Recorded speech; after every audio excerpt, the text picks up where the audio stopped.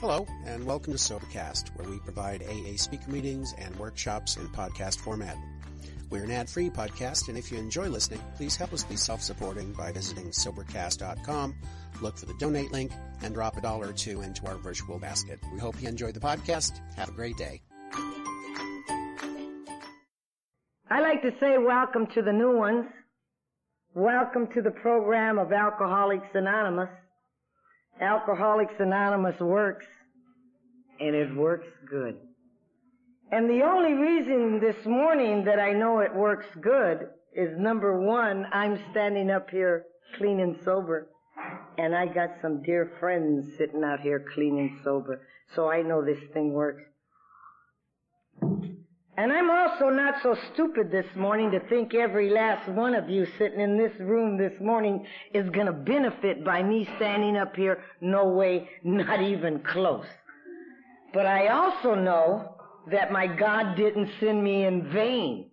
He sent me in order that maybe that I talk to that one individual in this room this morning that maybe needs to hear something that I have to say. Now the rest of you, gotta take care of this, right? Will probably learn a whole hell of a lot of patience,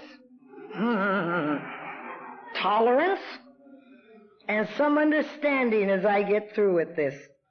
But before I start, I wanna, I wanna thank my friend Breton.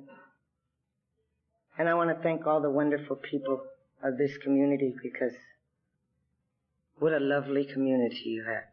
And I felt the warmth and the love in our lovely friend's home tonight. And I know I'm going to take you in my heart and in my soul that I won't forget this lovely time I've had up here. But the big book of Alcoholics Anonymous says this to me, that I must tell you a little bit of what it was like, what happened, and how I live today. And oh, thank God it says in a general way. mm-hmm. So believe me, the story I'm telling you this morning is as nice as I can get it for you. I call it cleaning it up a bit. And as you can see earlier, the lovely lady that I sponsored was standing up here learning to clean it up, right? Because you see, very early in my life, I was a rebel from the word get. I was one of these tight kids. If my mother told me to go south, I immediately turned around and went north without even thinking about it. And I guess I had a pretty typical mom that used to sit home and she preached pretty typical things to her daughters and this one did. She used to sit home and say things like, be a nice girl. Go to school and study. When you get of age, you marry a nice guy and you move off to the suburbs and you bake cookies. Yeah. Now that didn't sound interesting to me at all at the age of 11 years old. Right? Now I was born and raised in East Los Angeles. And I'm here to tell you this morning that East Los Angeles didn't have a darn thing to do with my drinking. It's the way that I drank that got me to Alcoholics Anonymous. But to show you how slick I ran most of my life, I didn't know East Los Angeles was a ghetto until I was in my 30s. So that shows you how slick I was out there.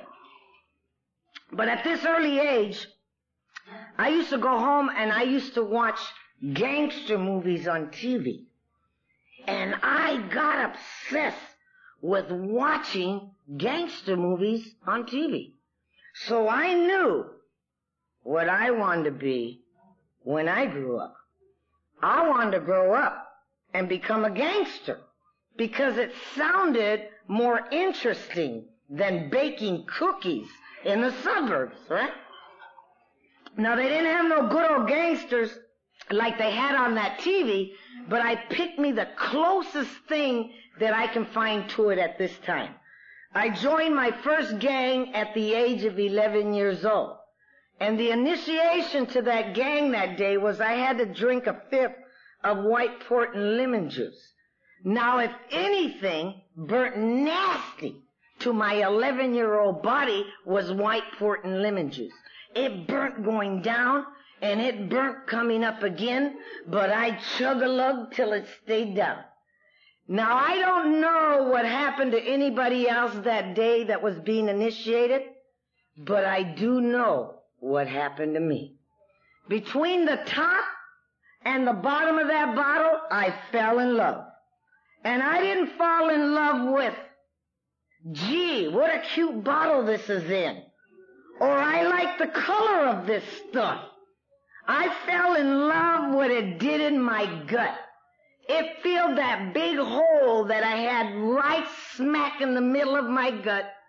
And it filled up all my fears and it filled up all my insecurities.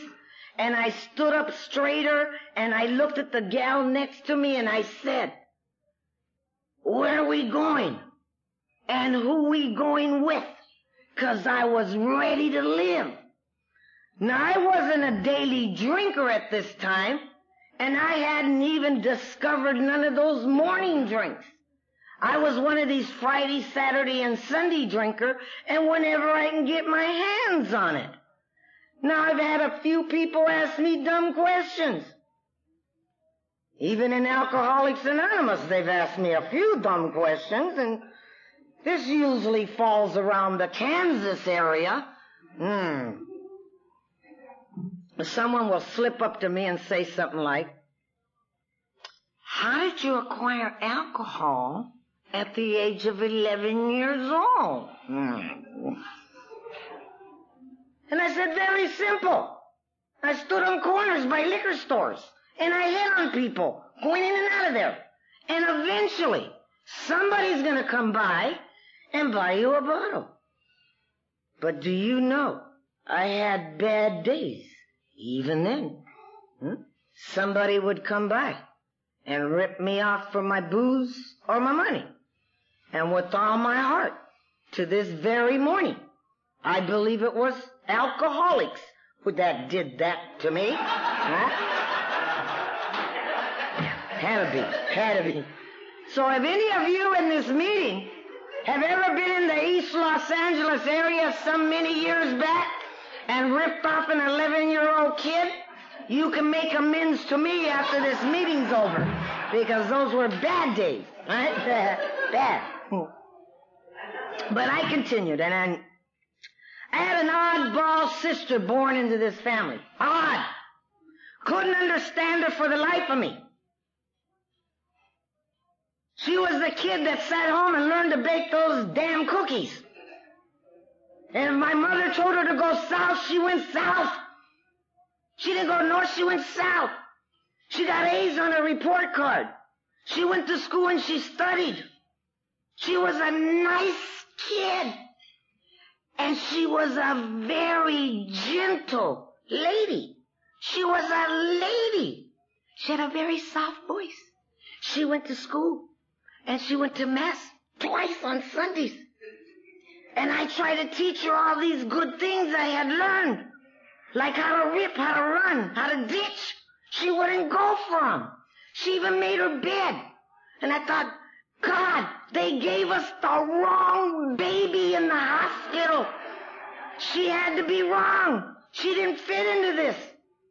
But I never forgot my parting with her when we came to the parting of the waves when she came home with her husband to be, and they were already engaged to be married. And I come strolling into this house with my hip, slick, cool self. And I come strolling across this living room. And this guy was sitting on the couch with a crew cut on his head, a pair of Ivy League pants, and white shoes. This guy was square, square. I believe he was from around this area somewhere, no, he he was not a city slicker guy. And I remember grabbing this sister and I hauled her into the bedroom and I gave her my famous lecture. Are you crazy? You're gonna marry this guy, move out to the suburbs and be miserable for the rest of your life. Now she got a strange look on her face that she got every time I talked to her and how I didn't understand that one for years either. Well, thank God she didn't listen to me. Because to this very morning, right now, she's still out in them suburbs baking cookies with that guy. And this wonderful man just passed away with, with them with 41 years of continuous marriage. Whoa, that just blew me away. So I chose to go the other way. Thank you. And I went on a hell of a run. Around the age of 18 years old, my friends started marrying up, and hell, I didn't want to be left out. So I looked around this neighborhood and I found me the hippest, slickest, coolest guy I can get to marry me at the time. And me and him were gonna go low riding off into the sunset, right? Forever. Right? Hermanos por vida. Now, unfortunately, three months of marriage, and this man started screaming. And he started screaming about things that I didn't understand. He started talking about when are you gonna wash and when are you gonna cook, cook. Then his next words completely threw me. He says, you know, you don't drink like a lady. And I said, well, how do ladies drink? He says, ladies drink out of a glass, not out of a bottle like you do. Mm. and you see, he didn't understand. Any time I uncapped the bottle, I always drank for relief. Now I know this morning there's going to be a few of you in this room that will identify with a couple of drunks I'll talk about. You know those drunks we come to the next day? and we ask dumb questions before we learn not to ask the dumb questions? And we might say something like this. Does anybody know where we left the car? Does anybody know why I have this black eye? And this one was my favorite. Did we have fun last night? Newcomers, if you ever identified with any of those, welcome to the program of Alcoholics Anonymous. You're home. You see, I thought that was normal drinking. Abnormal drinking to me were people who sipped. They're still abnormal to me. It's just okay today, right? Two-fisted drinkers. And I continued, and that marriage dissolved, and it dissolved very quickly after this. But I had one son. And I'm here to tell you this morning that I love my son. And I love my son like a mother loves a child.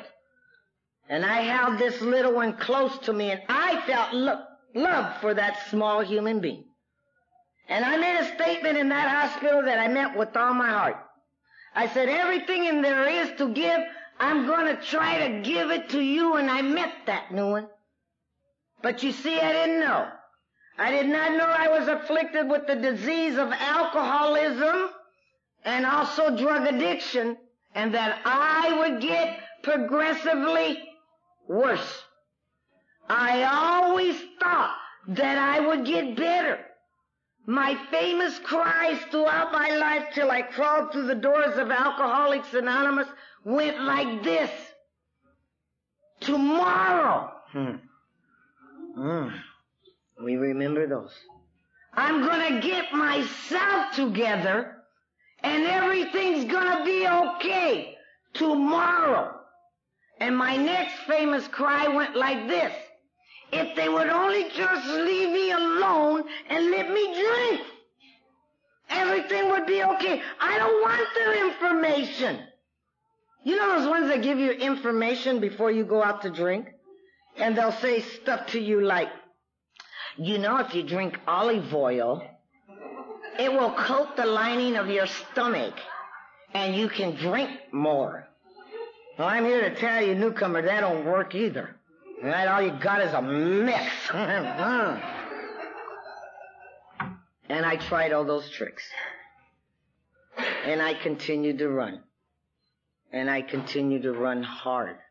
And I ran with a lot of fast people. And I ran with a lot of fast living. And I know what it is to start to get anger and hate and resentments, even though I didn't know what the word resentment meant until I got to you. And it started to go deep inside of me. And I knew what it was to have fear run through every fiber of my body. And I ran hard at this time. And I met another man that passed through my life and God was this guy cool. Hmm. Kind of looked like he was in the state of rigor mortis. He didn't move too fast, and I like that, right? So I took the living with this guy, and I found out one thing real quick about him. He wasn't real cool in the morning. He was real nervous and twitchy, and his nose ran a lot. And when he came out of that bathroom, he was cool. Now it didn't take Ruth too very long to figure out that whatever he had in that bathroom, I wanted some. I don't know what it is, but I want it. And I bugged that guy and I bugged him long enough. He hauled me on that bathroom. I sat on that bathroom floor and I took a fix of heroin with this guy. Now again this morning, I wish I could tell you, no, Ruthie's not gonna like this run. I'm not gonna like smashing through the lies I'm now gonna smash through. I'm not gonna like those feelings of desperation that are gonna run deep inside of me. Because I know loud and clear today that desperate people do desperate things. Because I did a lot of desperate things. I had to hurt a lot of people. And a lot of people had to hurt me. And I had to cover those feelings with more alcohol, more drugs. And I continued to run. It was around this time I started going in and out, in and out, and in and out of those jails. But I never ever, dear God, ever want to forget the last half. And I'm going to tell you loud and clear this morning why I don't want to forget the last half.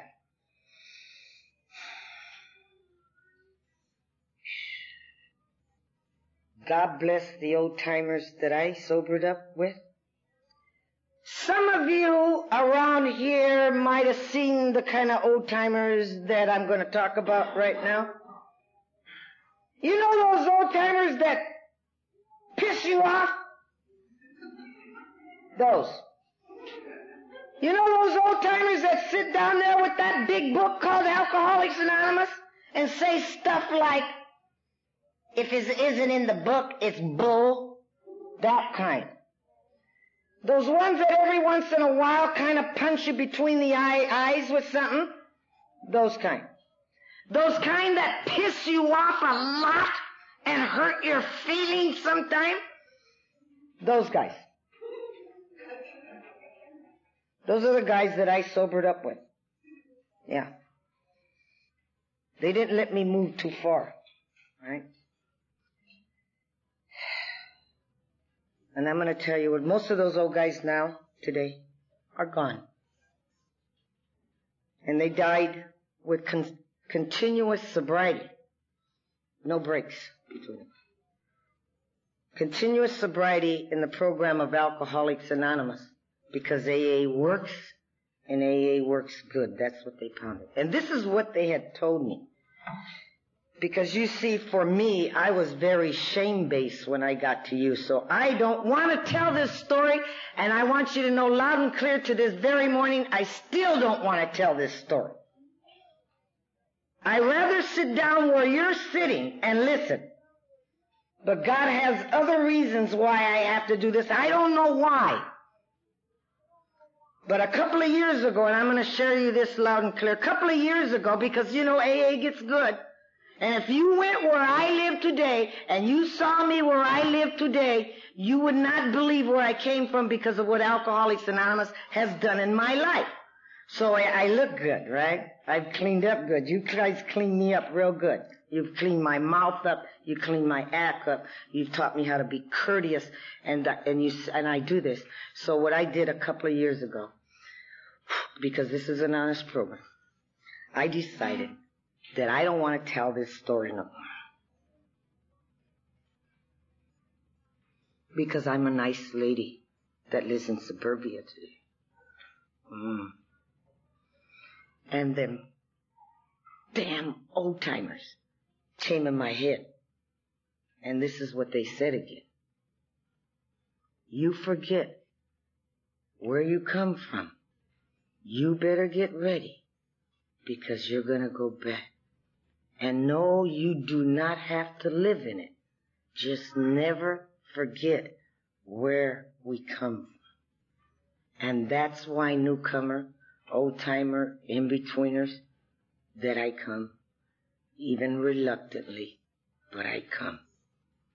Because I owe my life to Alcoholics Anonymous and a loving higher power and rooms like this and people like you that kept this door open so I can live. So the person I'm going to talk about for the cup, cup, next couple of minutes, the one I didn't want to talk about no more, I will not clean it up. I will tell you exactly what happened. Alcohol and drugs took its toll. And I did not trust one living human being walking on the face of this earth. And when you ran with people like I ran with, you don't trust. And they had sent me to a place called CRC, the California Rehabilitation Center in Norco, to rehabilitate me for the second time. While I was in that institution, I hurt somebody pretty badly, and I am not proud. And one of the things they did not tolerate in that institution at that time was violent people, and I was very violent. So they shipped me from that institution and they shipped me to a place called CIW Women's Penitentiary. And while I was in the women's penitentiary, I swore off of drugs completely. Never again in my whole life am I ever gonna use drugs again. And I completely swore off. And after a period of time, they let me out of that institution. And after a period of time, I came back into LA. And before I even reported to any parole officer or anything, I walked into the nearest bar. And I sat on that bar stool and I ordered me one drink. What's one drink gonna do to me? You know that drink we need to take the edge off? To unclench the jaws? That one. And I sit down and I ordered that one drink and that drink went down. And after the fourth or the fifth, I was instant wonderful. Alcohol did not leave my life until I came through the doors of Alcoholics Anonymous. And I used to stand up to people and I would say, you see this bottle? This bottle is the only friend I got in the whole wide world. You are not my friend. This is the only friend I have. And I kept it and I would lie, cheat, steal, anything to keep alcohol in my life. And you heard what I said earlier. For me, I had to burn every last human being out of my life. And I still say loud and clear to this very, very morning, if there was one more person I could have jived, connived, manipulated, I might not have made it to the program of Alcoholics Anonymous. But fortunate for me, I burn them all out. And at the end of my drinking, my family made a big mistake. Big one. I claim to this very, very morning, it's the biggest mistake my family ever made. Because my mom got too old to take care of my children. Children. Children I didn't even know. Huh. That's why I love Nieves. I was one of those, here mom, take care of the kids, come back three to five years later. Gee, they're grown. Huh? Give them a few more bucks that I stolen and off I go again. Because I didn't want to be around them. I didn't want them to see me.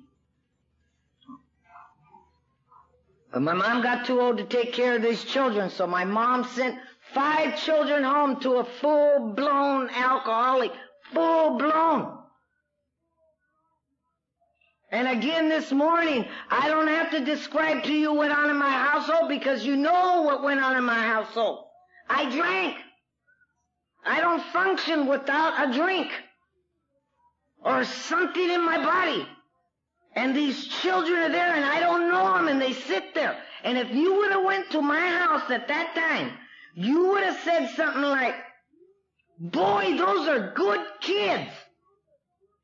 Those kids don't talk. They don't move. They don't laugh. They don't run around. They sit like this. And they're quiet.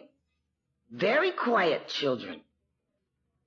Because they know if this mother's drunk, she's gonna rock them back and forth and make those famous promises about tomorrow and I'm gonna get myself together.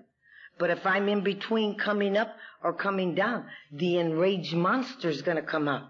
And now those children are the recipients of that war.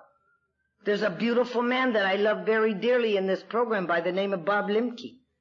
And the reason that I love this man so very dearly, an old timer in Alcoholics Anonymous, he describes what went on in my household at that time.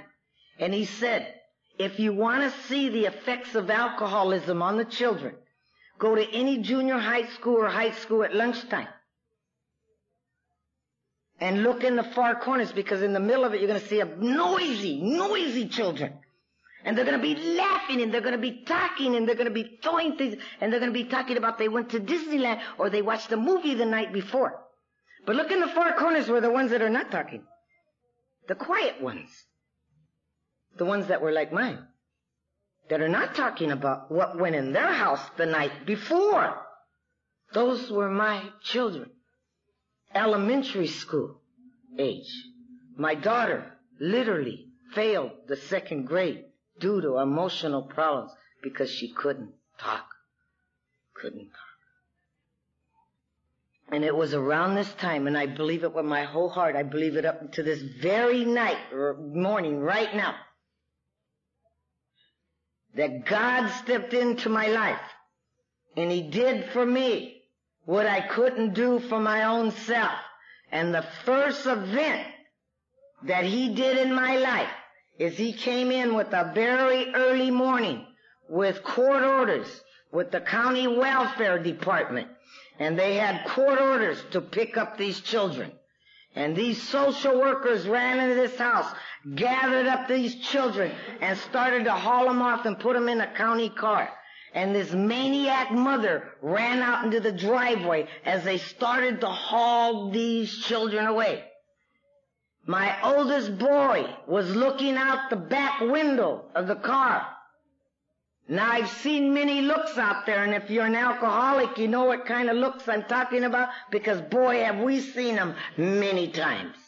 But when I saw that look in my boy's eyes, I wanted to die.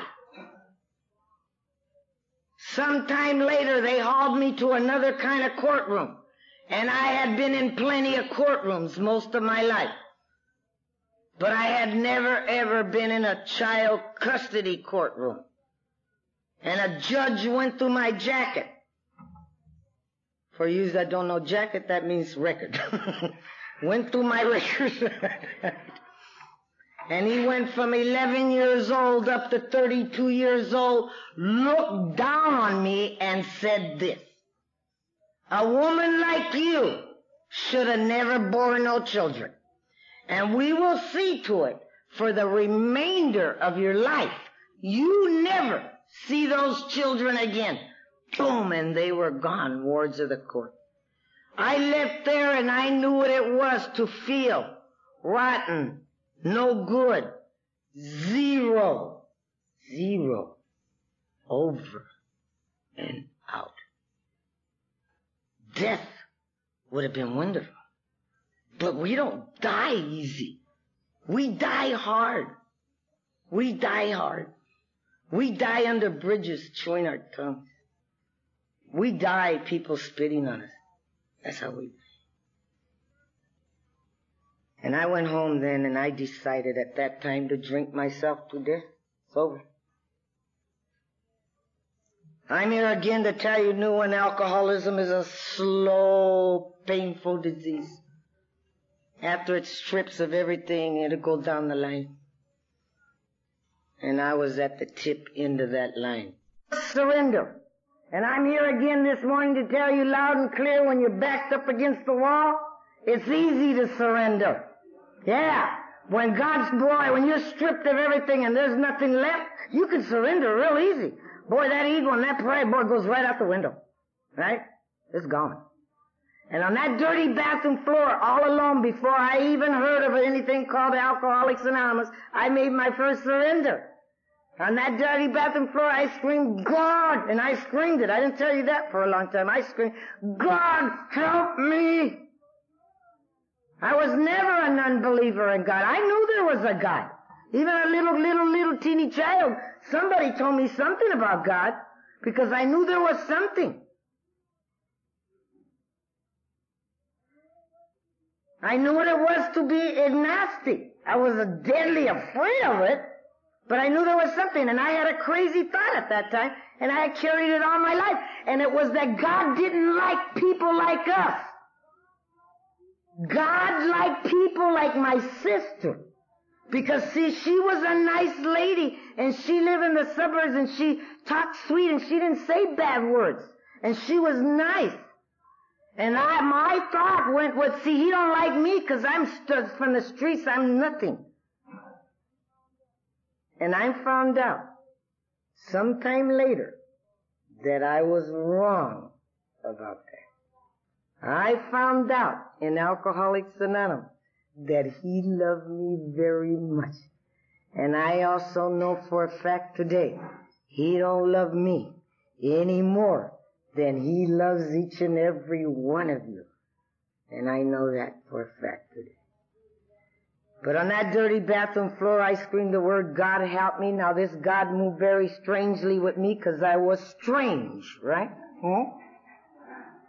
Some nights later, some people ventured over too drunk to drive. I drove their car. I ended up back in that county jail for women on the first and only at that time called 502. When I got physically healthy, I was laying on a bunk one night and over the intercom they announced AA in the dining room. Hmm. Now, with all this wisdom I had learned from the streets, and at that particular time I was pretty streetwise, not today, I poked a bunkie of mine and said, what the hell is American Airlines doing in this place, right? and with all her wisdom, she said, I don't know. Hmm. I said, well, they must be hitting rock bottom for stewardesses, right? and we need a job when we get out of this place. So, of course, you know, it turned out to be Alcoholics Anonymous.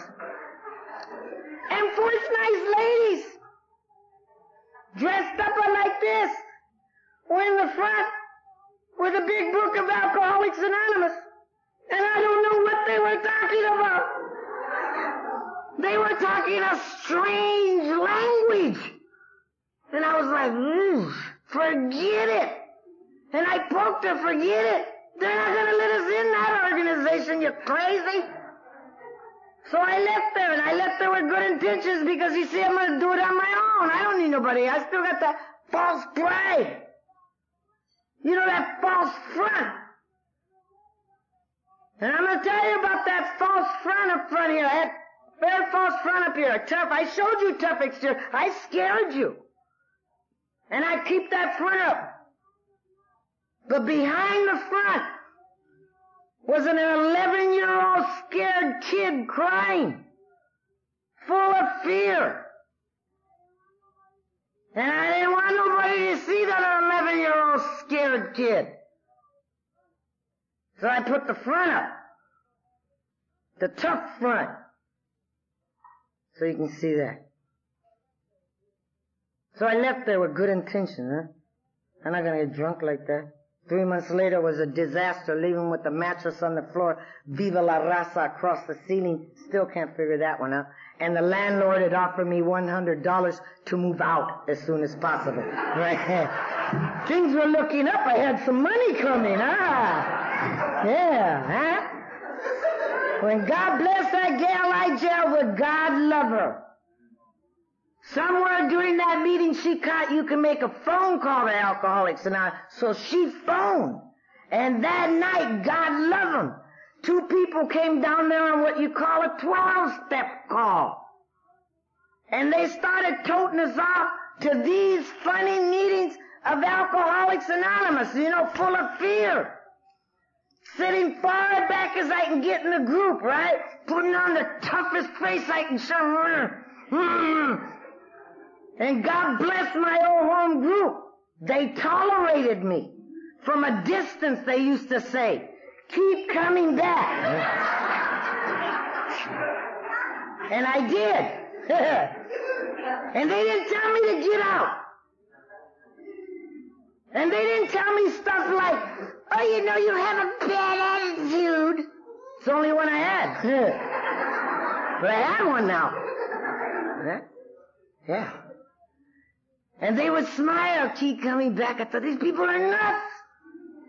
And I would sit far back and my finger would come out. Right? Because if I can judge you, I don't have to look at me, right? So I keep my finger out at you. And I go, uh huh. Look at that one. He's so old, he ought to stop drinking. Yeah. And you still tolerated me. Then one day, and I gotta share, I don't know why I want to share this, I guess because I shared it with Britt, my friend. One day I was one year sober. One year and I'm starting to grow a little bit. Right? I actually walked to the podium to blow out the candle on the cake. Yeah. But you know what they did to me then in my group? They took my cake and they took it to the back to the kitchen and they cut it. And I went back there and I said, what are you doing? They said, we're cutting the cake. And I said, why? They said, we share it. I said, bullshit, it's mine. I don't share. they said, we give it to the other members. I said, no, I don't want them to eat my cake. I want my cake, right? I need it too. Hmm? So I didn't take my two year. Because I didn't want you to eat it.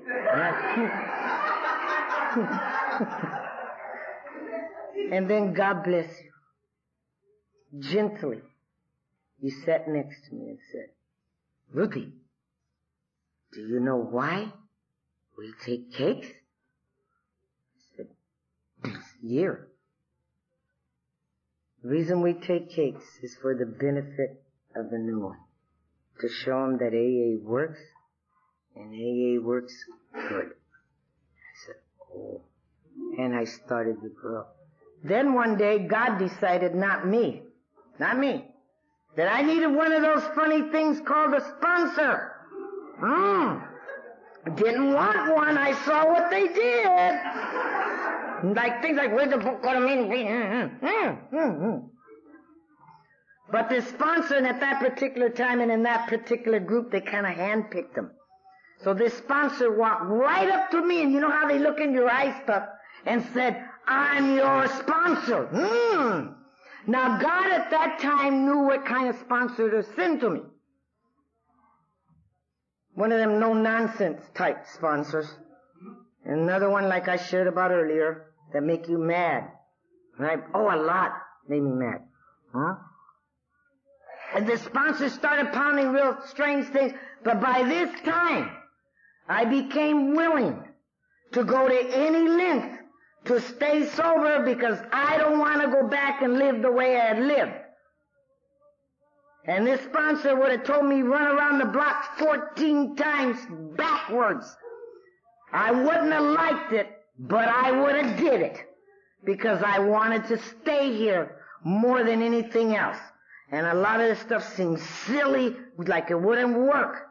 And I'm here to tell you, even if it's silly, it works. And this sponsor started pounding. Twelve steps to the best of your own ability. I never told this sponsor too much about them children. This sponsor told me this. There's a possibility. The sponsor didn't paint no rosy kind of pictures. Sponsor was very realistic and very honest to me, which I didn't even understand. Said there was a possibility that I might never ever get those children back again but that I had to accept that. And I did. And at two years sober in Alcoholics Anonymous, I left the meeting one night and I got a phone call. And they said, hey, we've been keeping an eye on you. And I said, that's okay today. You can do that. They said, no, you don't understand. We're going to return your children. All five of them at the same time. Hmm. Now you can get happy, right? Huh? I got scared to death. And I thought, oh my God, by that time, thank God for this sponsor. And I went down and I ranted and I raged. Oh my God, what am I going to do? I don't know how to be a parent. What's a parent? You know, because I had already knew I was a member of Alcoholics Anonymous. And I'm going to tell you how I did it as I took those 20 questions when I was there. And you know, on one of the questions in there it says, do you resort to lower companions and an inferior environment due to drinking? I laughed. I was the lower companion and inferior environment due to drinking. right? Hmm? So this sponsor tells me this. After I tell the sponsor, I say, my God, you know, I am like a functional illiterate. Because I ran the streets from 11 years old. And now I'm going to tell you about a loving higher power and a miracle called Alcoholics Anonymous. And a strong sponsor and a big book of Alcoholics Anonymous. And his sponsor told me this and I wanted to die. Now you take everything you gathered in the program of Alcoholics Anonymous and you take a chapter called The Family Afterwards and you take it home with God, isn't it so easy to work Alcoholics Anonymous during meetings? And go home and want to kill the family? Yeah. so little by little and inch by inch we started to grow as a family. And I'm going to show you where I got that growth from. I got it in here. Right here. I got taught by most of you sitting in rooms. Some of you taught me what to do, and some of you taught me what not to do. Hmm? But I learned by example. When I watched you raise your children, and I watched the way you worked, I started to learn. And I took that in your families, and I started to grow. Then one day God decided, not me, that we were going to move to the suburbs. At that time called Hacienda Heights. And then I started to do real strange things. Like baked cookies. Right? Yeah, you have to. But I gotta be very honest with you because I got friends in this room that know. I bake them hard so they didn't ask too very often for cookies. So if any of you need that recipe, see me, it works, right? But this family started to grow. And again, we didn't grow through leaps and bounds. We grew very slow. Very painful sometimes, but very lasting. Sponsor giving same of information. Leave the track shoes by the front door. You've been running all your life. You no longer run. You stay planted and you walk through whatever comes into your life. No pain, death, whatever it is. Life on life's terms. But one strong little sponsor. Then I had to lose that sponsor through death. And today I still have the same strong sponsorship to a little lady by the name of Angie that makes me drive to Blythe. Four hours up and four hours back. And I'm gonna tell you today, to this very day, right now, shall call her up and she says, I want you to write an inventory. And I'll say something stupid, stupid, cause my brain will go, Poof. and I'll say, well, uh, I'm 23 years sober. She said, I didn't ask how long you've been sober. I said, write an inventory, have it here at 9 o'clock on Saturday morning. And that is four hours up and four hours back to go to any length to this very day to stay sober in Alcoholics Anonymous. But let me share you the growth. Those four children, those five children, started to grow straight and strong. And if I start to give you a little tear, it means nothing other than gratitude for what God and Alcoholics Anonymous has done in my life. My five children were raised sitting around on these chairs. They were touched by you. And all five of those children grew straight and strong and not warped and crooked. They grew to be beautiful, strong human beings. I call them pillars of the community, right? And I love it. But let me share you a story of growing up for me.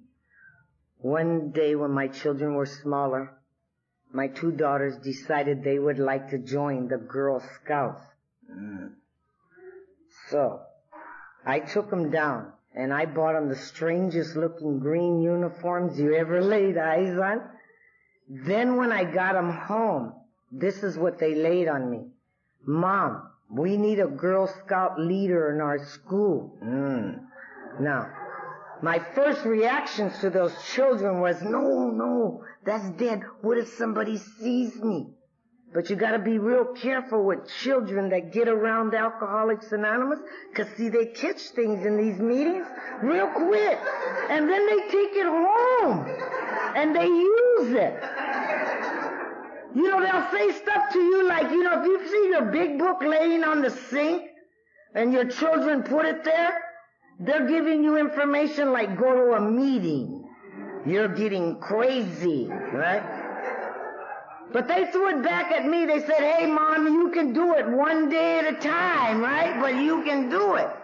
So there I went for two more years up and down mountains with 40 giggling Girl Scouts, right? And I'm here to tell you I tried everything. You know, I tried to give them a little cool, like, you know, give them some cool. And I would say, well, maybe we'll call it like the mafia troop or something. They didn't, they didn't want that. They were going, no, no, we want the yellow butterfly troop. I was like,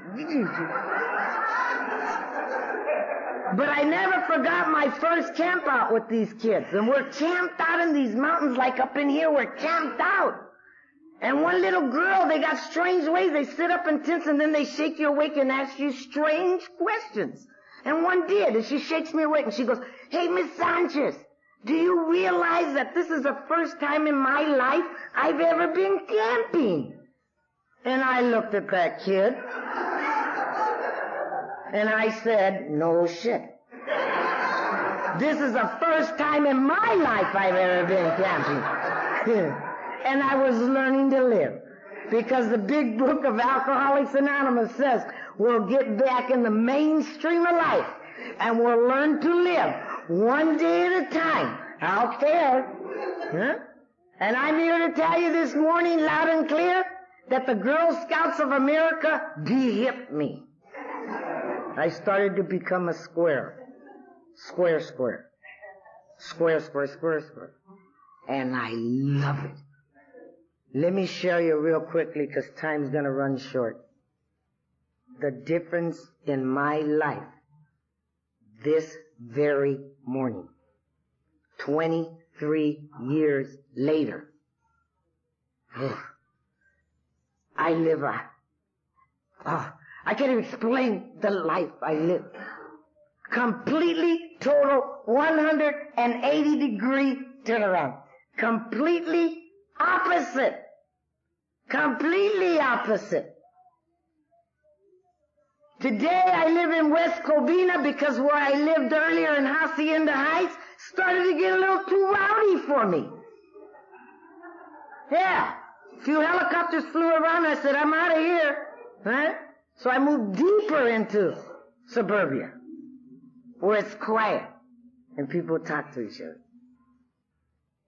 And I live a brand new life. My oldest boy, the oldest of the clan, the one that looked out the back window, lives a brand new beautiful life. And I'm going to share you what he wrote to me while he was in Germany serving for the armed forces. My son wrote it on the back of a picture and I call it forgiveness. And my son wrote me this. He wrote, thank you for teaching me right from wrong. Thank you for the years we have been reunited as a family. But most of all, give my thanks to the people in Alcoholics Anonymous for giving you back to us again.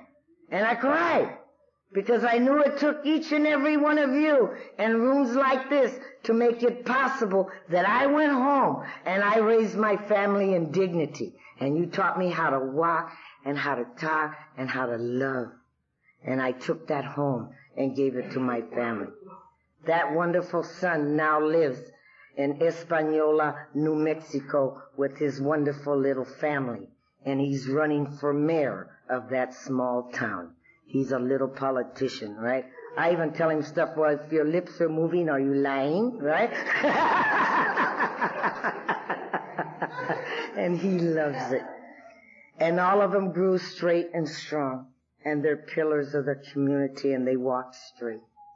And they have a deep love and for Alcoholics Anonymous in their hearts and in their souls. Because you gave it to me 23 years ago you didn't run me out. You didn't say, I don't like the color of your skin. I don't like the way you look. I don't like the way you come from. I don't like because you have tattoos on you. You didn't say none of that. You said, come with us and stay with us and we'll give you a brand new way of living. And that's exactly what you did. Gave me a brand spanking new way of living. Today, what means a lot to me is that great prayer called God grant me the serenity. And this is what it says to me on a daily basis. It says, God grant me the serenity to accept the things that I cannot change. And I cannot change people, places, nor things to fit me. Hell, it won't go. I tried for years. And the courage, a newcomer takes courage to change the things I can. And I call that the woman in the mirror. She's the one that I gotta change on a daily basis. Alcoholics Anonymous is an inside job. I check myself from inside and I do my writing and I check myself and then I'm able to know the wisdom of the difference. Today I walk in a brand new life and I live deep and I live a good life, no matter what comes down, whether it's death. When my brother-in-law died, I looked at it entirely different. When my brother-in-law died, it was because it was his time to go home to that father. And I have no right to try to hold him from going anywhere. And that was his right to go home. And my sister's still growing. She's taught me a lot through watching her walk through that. And today I live that brand new life. But there's one more miracle that I want to share with you. All this time that I was in Alcoholics Anonymous, I never got, I never married. I watched all these crazy relationships go on. And I would go, oh no, please not me. And I never had to worry too much because if anybody ever approached me, I would say I have five kids that eat a lot and they were gone, right? My last son grew up got married and moved to Houston, Texas about three years ago. And lives a very well life. And a beautiful gentleman that I known for 12 years, God put in my life two and a half years ago and we got married.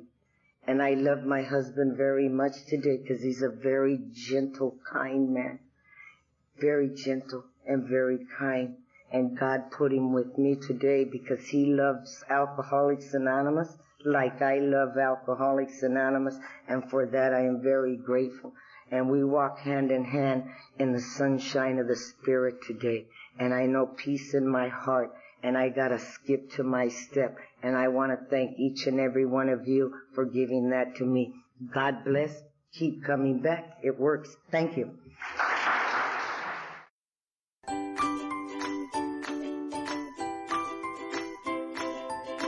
Thanks for listening. I hope you enjoyed the podcast. Sobercast is ad free, and we'd like your help in order to keep it that way. So if you'd like to help us be self supporting by pledging a dollar to a month, visit Sobercast.com and look for the donate links. Thank you very much.